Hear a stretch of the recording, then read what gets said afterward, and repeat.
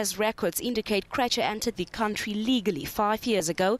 He then applied for refugee status. This was rejected. Krejcir then sought the intervention from the Refugee Appeals Board. Pending his appeal, he was granted asylum seeker protection under Section 22 of the Refugee Act. Krejcir's reasons for seeking refugee status cannot be disclosed as the matter is sub judice. For us now, we're dealing with him as an asylum seeker. We're considering his uh, case, which now is sitting at a RAB uh, board. Then, once the decision now is taken, it can either say you are granted a, a refugee status, or it might say you are declined. If you have been declined, that then you'll be deported.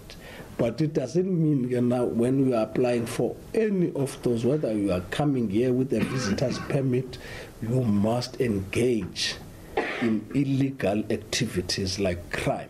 Under normal circumstances, a Section 22 has to be renewed every six months. But due to the complexity of the case, Krejcir's asylum seeker protection status was extended.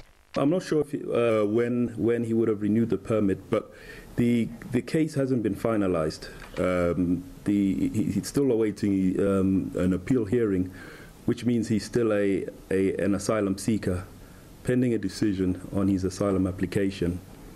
So whether whether he renews it or not, he still he still has a status as a an asylum seeker.